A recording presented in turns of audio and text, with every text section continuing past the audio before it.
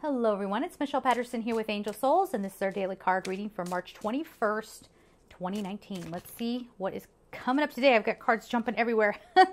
okay, so we have Brilliant Idea, Archangel Uriel. Yes, your idea is divinely guided. Please take action to bring your idea to fruition.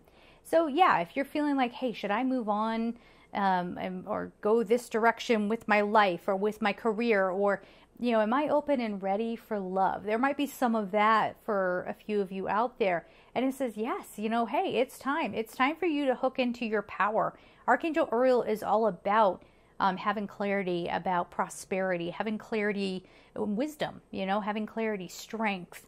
Um, sometimes he's associated with the solar plexus. A lot of people will associate Archangel Michael with the solar plexus, but Ariel can help you as well. It's just to have a flash of inspiration to help you bring this into your physical world.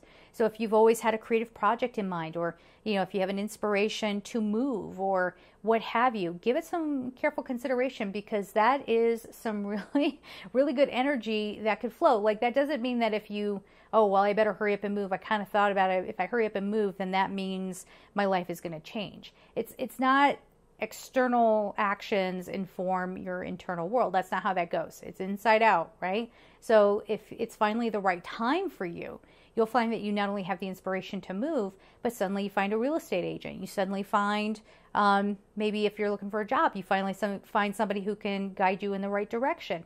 It's where you get into the flow. You're going to hear me talk about that the flow and synchronicity, and now things are coming together.